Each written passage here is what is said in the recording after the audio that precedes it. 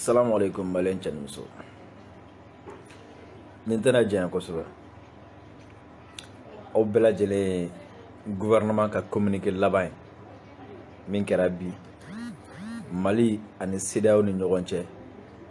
u ye tile fila tagama min kɛ yan o don na n kun y'a fɔ aw ye n y'a sɛbɛ page kan n ko sedeyaw mali embargo dimanche samedi lundi nka a y'a ye gouvernement ye communiqué min kɛ a ka communiqué a ka surun kojugu a kɔnɔ kuma man ca ko mali ye kalo tan eh, kalo bi saba ani wɔɔrɔ mali tun y'o de proposé fɔlɔ cedeao ye kɔrɔ jumɛn san saba ko cedeao ma sɔn ma u y'a b'o la k'a kɛ kalo mugan ani kɔnɔntɔn ye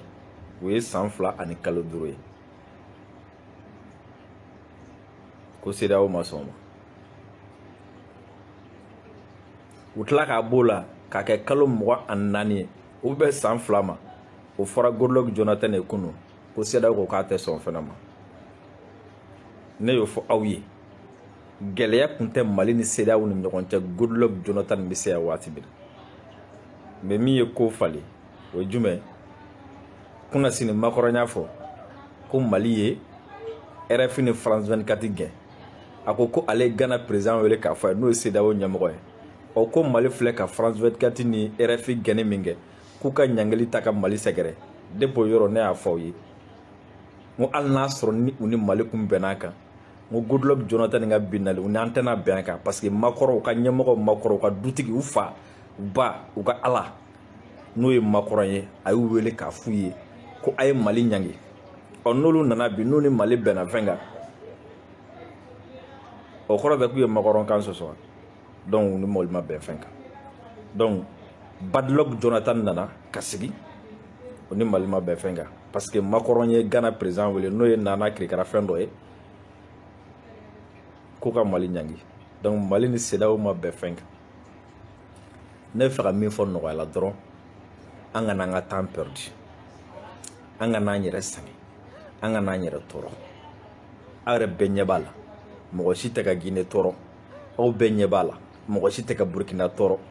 aw bɛɛ ɲɛ b'a la mɔgɔ si tɛ ka cadi tɔɔrɔ burukina ye san saba ta u yɛrɛ ye sedaw nana ko ko dakɔrɔ ko bɔn ko aw ka san saba ko a jɔrɔ b'an na u ma fɛn fɔ gine ma da yɛrɛ fɔ yɛrɛ cadi olu b'u ta janya wa foyi tɛ bɔ a la parce que anw de bɛ k'u lamɛn anw de bɛ ka proposition k'u ye badlog jonathan de bɛ taa ni ka segin la anw de la parce que anw yɛrɛ ma waati di an yɛrɛ ma moi je pense que a ka ɲi sa an kana waati foyi fɔ ninnu ye bilen an ye min gouvernement yɛrɛ k'a ka responsabilité ta jamana ɲɛmɔgɔ k'u ka responsabilité ta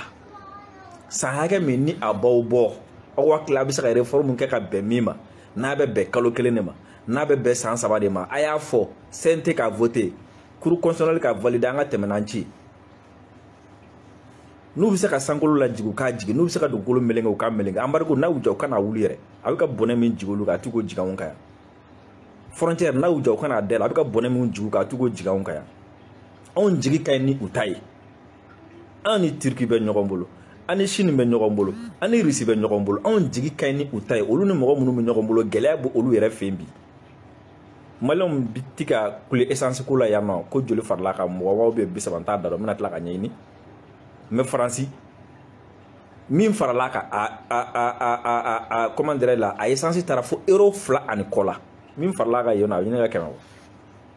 amɛrikɔn ta bɔra fo olu fana ta min farilo fana ka a bɛ sɔn ka caya ni o ye bɔnɛ min b'u ka tan kan parce que tan kɛ an yɛrɛ de bɛ ninnu lamɛn k'a to k'a fɔ bɔn u ka na u ka na cɛ an ka n'u lamɛn sa désormais dɛ e ne bɛ min fɔ aw ye dɛ ni jonathan ti ɲɛ k'a bɛ na yan tuguni ou bien kow bɛna na dɔwɛrɛ kɛ a ka min kɛ a ka nɔgɔn a ye n wele n'u bɛ taa négociation na n b'a ko ban ɛri kelen a sera nin na négociation tɛ nin na o depuis mana he nin de b'an fɛ yan ni tina bɛnana dɔ wɛrɛ fɔ min n'o tigi ala kama to yen nana mɔgɔ ka temps perdre an kana na nin ko min bɛ ninnu bolo an kana muru bɛ basiw kan na CEDEAO t'an fɛ faransi t'an fɛ an n'u tɛna bɛn fɛ la u bɛ dalaɲini de la u b'an sɔrɔ waati togo o togo ka fɛn dɔ fɔ a ma ka fɛn dɔ k'a la u bɛna don o de da fɛ olu tɛna to an ni munumunu na an tɛna se ka fɛn kɛ fo an kan ka tan min di an yɛrɛ ma hali san tan bɛ ka pɛridi ka taa ninnu fɛ kuma la malankolon fɛ kuma a tɛ foyi ɲɛ mɔgɔ ye a b'i i sen sumaya de sedaw malankolon don u fɛ kuma a bɛ an sen sumaya faransi de b'a kɔfɛ malankolon don u fɛ kuma a b'an sen sumaya an k'an ka kow ɲɛnabɔ an k'an ka kow kɛ an ka tɛmɛ n'an ci ye n'an bɛ balo an bɛ balo n'an bɛ sa an bɛ sa an sera o niveau de la sisan taa ni ka segin f'u ye an k'a f'u ye ka ka ɲi ten trop c'est trop k'a fɔ trop c'est trop C'est quoi Coup d'État Burkina. Pas d'embargo, pas de frontières fermées. et, comment dirais-je là Guinée, pas d'embargo, pas de frontières fermées. Tchad, pas d'embargo, pas de frontières fermées. Burkina, un coup, trois ans, proposition, c'est d'avoir accepté sans problème. Guinée, pas de délai, c'est d'avoir accepté sans problème. Tchad, même chose, pas de problème, c'est d'avoir accepté. Mais le Mali, tous les jours, des va-et-vient inutiles, on nous envoie des badauds, des vraies vies inutiles, on vient nous emmerder pour des histoires de délai, pour des histoires de date. Vous nous emmerdez. Bad luck Jonathan, vous nous emmerdez. Les présidents de la CDAO, trop c'est trop. On s'en fout de votre histoire de date. On s'en fout de votre histoire de, de délai. Si vous pouvez ramener la ciel, ramène plutôt le ciel et la terre. Si vous pouvez, si vous pouvez, fermez le ciel et la terre, bouclez-les. Si vous pouvez, prenez l'air, si vous pouvez, prenez le soleil, la lune, tout. Amenez tout, amenez, amenez. Laissez-nous tranquilles, laissez-nous vivre. Vous nous empêtez tout le temps, comme si vous n'avez pas de pays. Est-ce que Alassane n'a pas de problème avec les Ivoiriens est-ce que Nanan Akufado n'a pas de problème avec les Ghanéens Est-ce que votre truc de Bazoum là n'a pas de problème avec les Nigériens Akanti, Akana, Akana Mokosiro Swable. Nous avons le gouvernement fait. cɛ a ka bi communiqué in yanni ne ka se ka kalan ne ɲɛ sɛgɛ dɛ ni ɲɔgɔn communiqué fana a b'o fɛ hali o kalanni ka gɛlɛn mɔgɔ ma n'a ye ni ɲɔgɔn wɛrɛ kɛ a bɛ vɛri san ka d'an kelen kelen bɛɛ lajɛlen ma puruke an b'a kalan parce que aw yɛrɛ ɲɛ b'a la parce que nin kalanni surtout sufɛla fɛ a wara